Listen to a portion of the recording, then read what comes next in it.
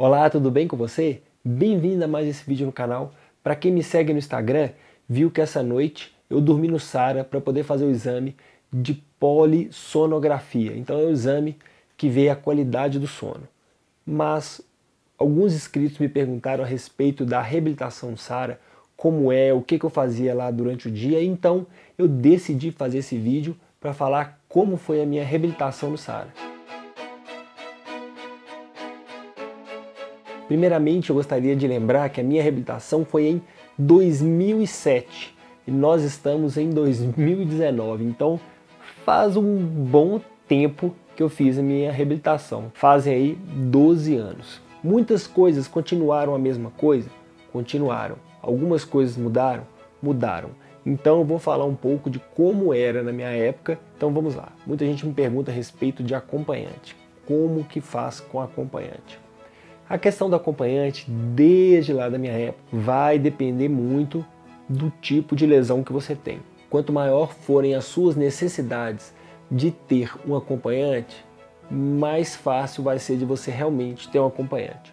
Porque, por exemplo, eu, quando eu fui ao Sara lá na minha reabilitação, eu mal mexia meus braços. Então, eu precisava de um acompanhante para me ajudar a alimentar, me ajudar a fazer um monte de exercício, alongamentos, coisas que com o passar dos anos eu fui melhorando. Então fui melhorando minha força, fui melhorando meus movimentos, e isso com o passar do ano, na verdade, né? Porque os meus movimentos mesmo voltaram no meu primeiro ano, depois eu ganhei qualidade de movimento e força. Então, movimentos eu não ganhei mais. Mas quando eu fui no Sara, eu não conseguia fazer nada.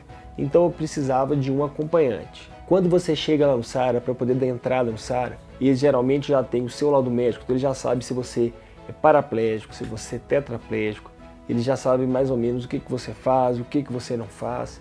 E na sua admissão, naquele tanto de exame que você vai fazer, eles vão falar, ó, oh, você vai precisar de um acompanhante. Você não vai precisar do acompanhante. Então, se você não precisar de um acompanhante, você ficará no SARA sozinho você fará toda a sua reabilitação sozinho. Isso é bom? Eu acho que sim, porque quando você tem condição de fazer as coisas sozinho e você fica em hospital de reabilitação, o próprio nome já diz, é para te reabilitar.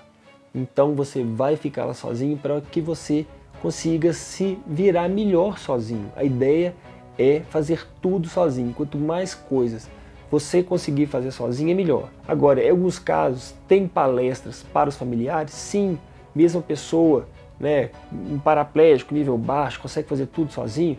Existem palestras para os familiares, para os familiares entenderem também né, o que aconteceu com você.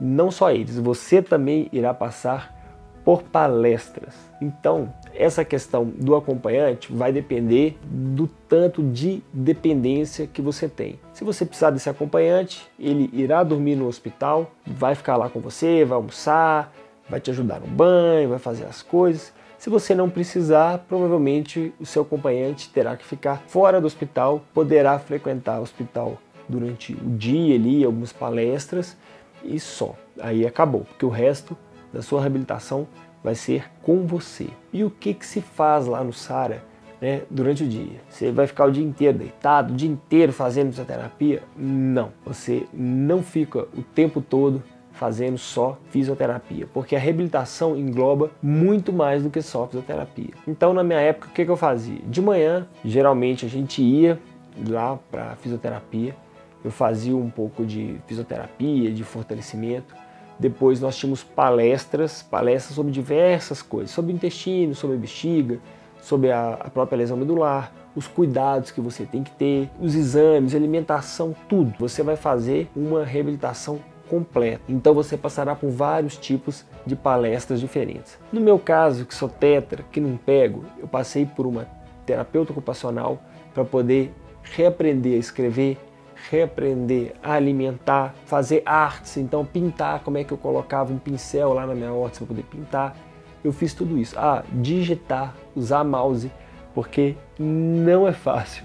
Então eu fui passando aí por isso tudo. Foi muito bacana. É um processo lento, mas é um processo muito legal. Então vamos lá. Então voltando lá, o que, que eu fazia? De manhã eu fazia fisioterapia, Tinha dia que, em vez de manhã de fazer, em vez de fazer fisioterapia, às vezes eu fazia é, um pouco de terapia ocupacional.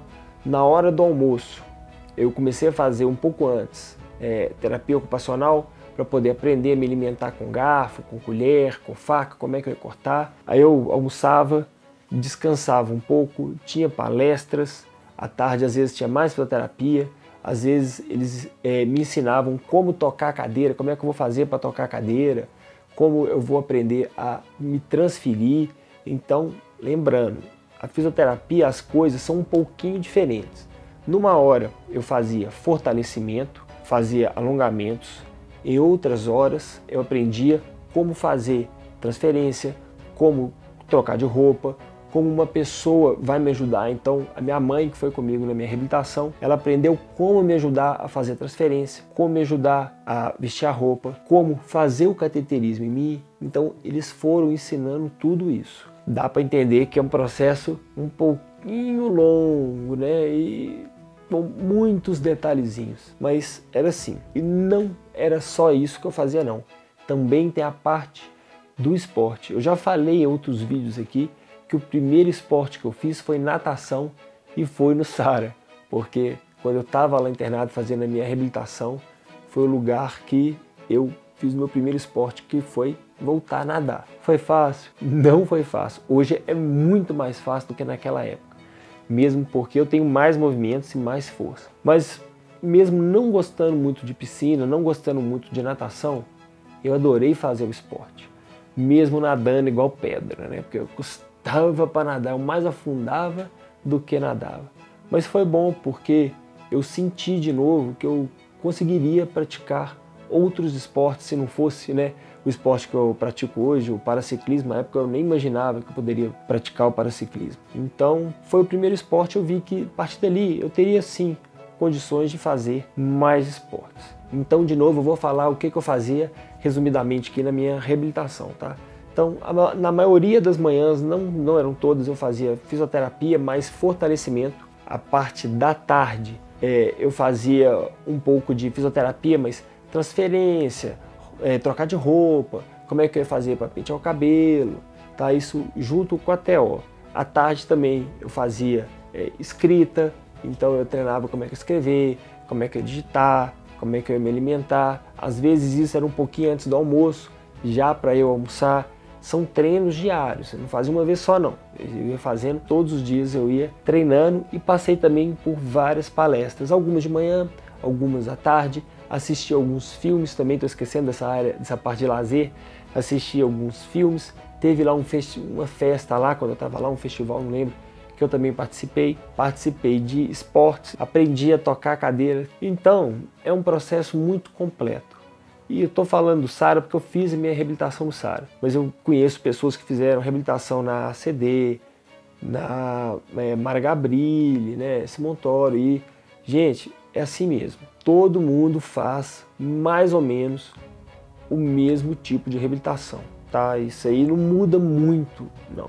É mais ou menos a mesma coisa. Então as reabilitações aí no Centro de Reabilitações do Brasil são boas, não são muito diferentes de fora não, porque a ideia é te reabilitar para a vida. Então você vai fazer as coisas do seu cotidiano, do seu dia a dia, para você aprender a viver como você tá. E o vídeo de hoje é esse, eu quero saber de você como foi o seu processo de reabilitação, se foi mais ou menos tipo o meu, ou se foi diferente, se você que foi no SAR recentemente, e seu processo de reabilitação foi diferente do meu lá há 12 anos atrás, posta aqui embaixo nos comentários. Eu vou adorar saber como foi a sua reabilitação. E não esqueça, dê like no vídeo para esse vídeo ficar relevante, chegar a mais pessoas. Me ajudem aí nos likes. Tem vários vídeos, muitas pessoas assistem, poucas pessoas dão like. Se inscreva no canal também, que é importante se inscrever no canal. Divulga esse vídeo, então compartilhe esse vídeo aí a mais pessoas. E eu vou ficando por aqui e até o próximo vídeo.